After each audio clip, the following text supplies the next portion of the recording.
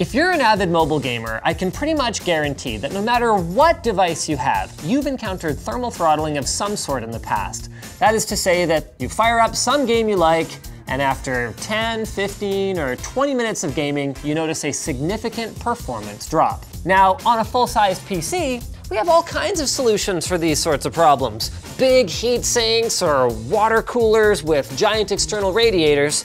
But on a phone, you're pretty much limited to what you got here. Or are you? So we found this on AliExpress, and it is exactly what it appears to be. A water cooler designed for use with a mobile phone. So let's take this thing for a test drive and see if it actually solves the problem. And this video is brought to you by Pulseway. With Pulseway, you can remotely monitor, manage, and control all your Windows, Mac, and Linux machines from one app. Create your free account today at the link in the video description.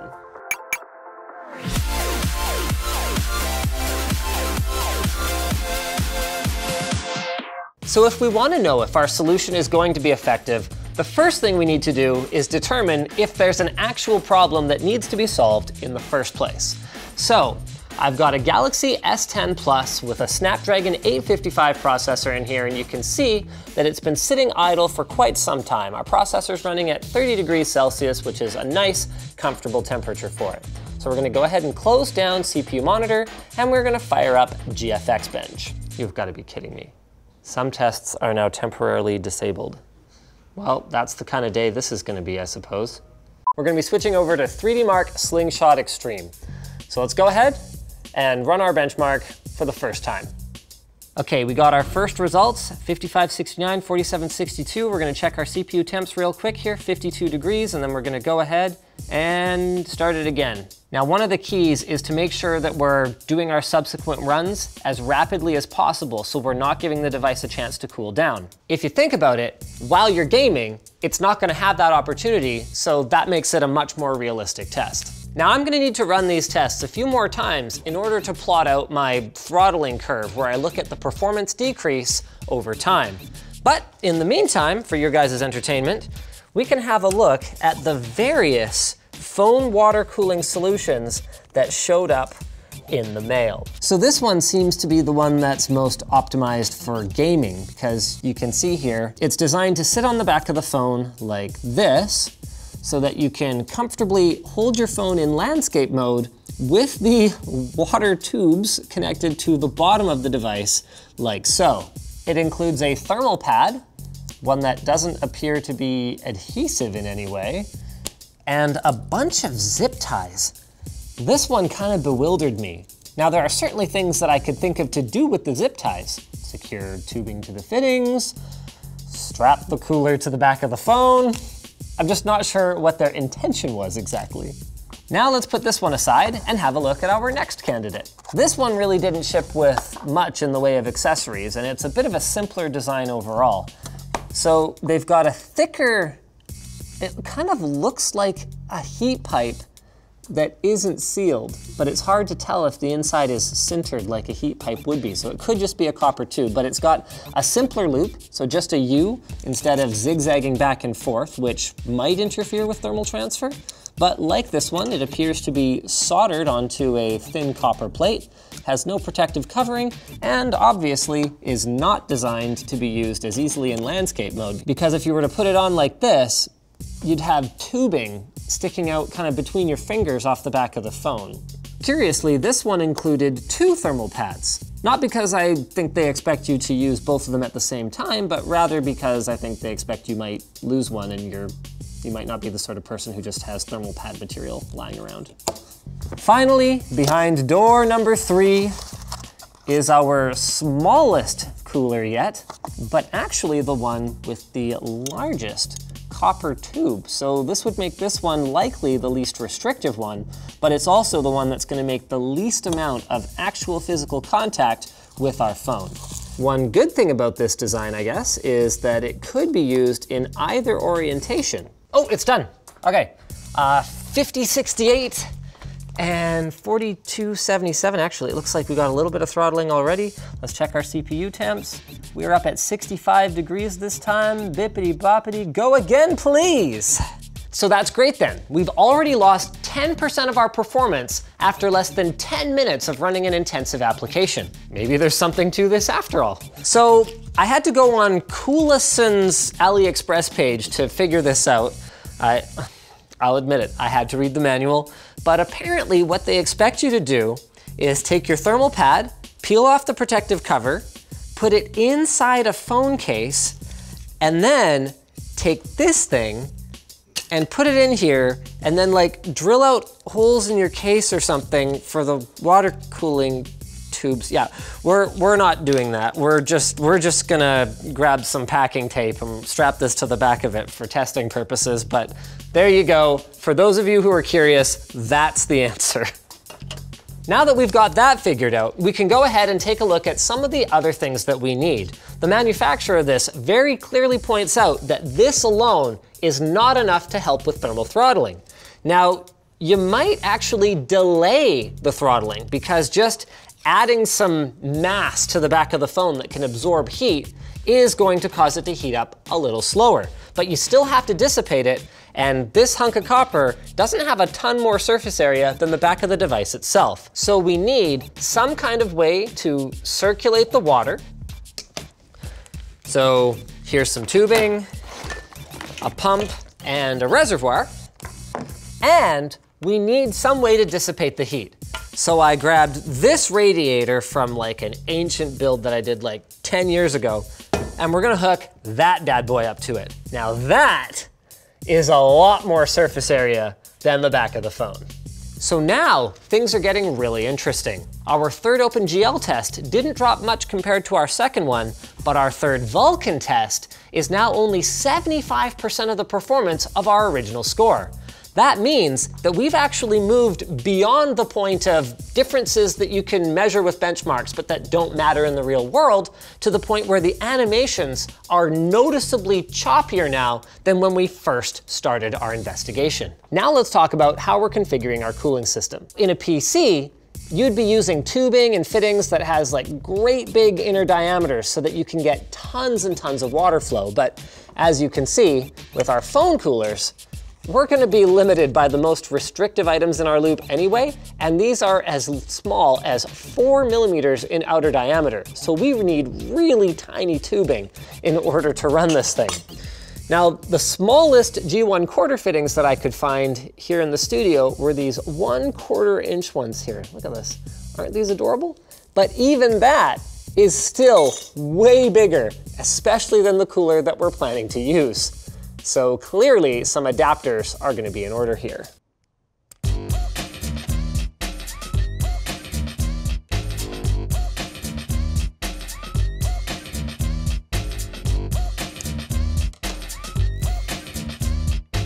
Now, one way of adapting larger tubing to smaller tubing that I've actually seen done is to just place the smaller tubing inside and use some kind of a sealant but mm, we're gonna go slightly less jank than that today.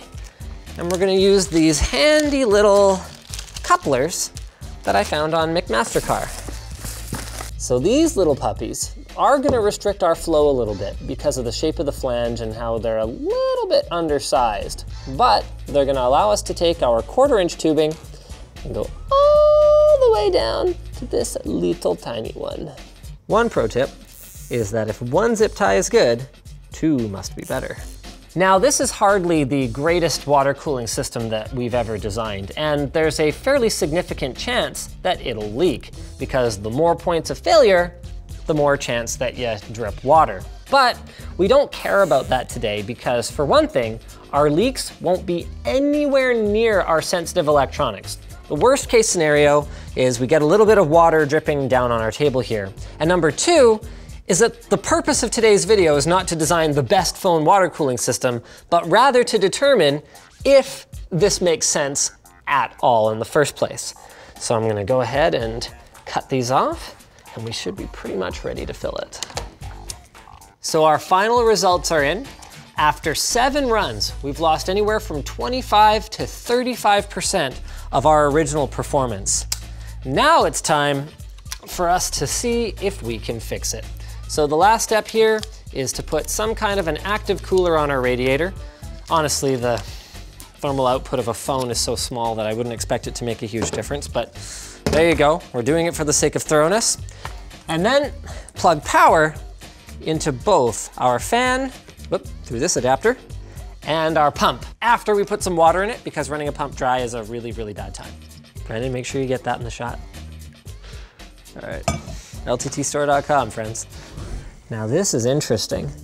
This is actually quite a powerful pump, but it is really struggling to move water around the loop. But these tiny little fittings are definitely a classic bottleneck. Okay, there we go. We just hit 33 degrees on our phone CPU. So that's exactly the same starting point that we had when we were running it by itself without any active cooling. So it's time to strap it on. Plonk this on a little something like, ooh, if we just put a zip tie on it or something. Now again, this is not designed for long-term use. Obviously, you wouldn't want a big, ugly zip tie hanging out in the middle of your screen if you're gaming, but you don't realize how light a phone is until you strap a big piece of copper to the back of it like it's heavy. And our benchmark results are actually well within range for OpenGL, but a little bit higher for Vulkan. Let's go ahead and it. run it again. Run number two, our score is still exactly the same. Okay, it's jumping around a little bit, but wow, it looks like our temps haven't increased at all. This is now three runs in, and our performance hasn't dropped at all. By comparison, last time around on the third run, we were at only 72% of our peak performance in OpenGL and only 75 in Vulkan. So we were already at our maximum throttle. We haven't even touched it yet. Okay, so the CPU temperature does go up. We can see that, but it rapidly falls. So our cooler here is doing an excellent job of pulling that heat away. And once again, our benchmark scores are not affected whatsoever. In fact, that's our best score yet for OpenGL. I think this is gonna be our last run. I'm pretty convinced that this is not gonna throttle. Just for funsies, here's a look at the phone through our thermal camera. Now, this is an imperfect way of measuring it because it's a bit of a glossy surface, so that does interfere with our reading, but we can at least see, relatively speaking, where the hot spots are. Right there is one of the hottest spots of the phone along that edge, and even that is well under control. It barely feels warm to the touch, even while I'm running this game benchmark. So there you have it. Our scores still haven't fallen this entire time, and our temperatures start out a little bit on the higher side, but quickly fall back down to ambient temperature. So is it a bit of a janky solution? Uh, yeah, I think even under the best of circumstances, this is going to be bulkier and less convenient than just, you know, relaxing in bed with just your phone. But does it work? The answer is a resounding absolutely yes, it does. Water cooling phones. Who would have freaking thunk it? Speaking of who would have thunk it, who would have thunk that I would transition so seamlessly to our sponsor, PIA. Private Internet Access supports a variety of VPN protocols and types of encryption and authentication, allowing you to dial in the exact level of privacy protection that you need. They've got apps for Windows, Mac OS, Android, iOS, Linux, and Google Chrome, and they've got over 3,000 bare metal servers running in 44 locations across 28 countries. You can connect up to five devices at the same time with a single account, and their apps include DNS leak protection as well as IP IPv6 leak protection. Like any VPN worth their salt, they've got IP cloaking, which masks your IP as well as your geographic location, and you can check it out today at lmg.gg slash PIAWAN. I don't know why we're using the WAN offer code. It doesn't matter. Just go click the link in the video description. So thanks for watching, guys. If you disliked this video, then you can hit that button, I guess. But if you liked it, hit like, get subscribed, or maybe consider checking out where to buy the stuff we featured at the link down below. Also down there is our merch store, which has cool shirts like the one I'm wearing, and our community forum, which you should totally join.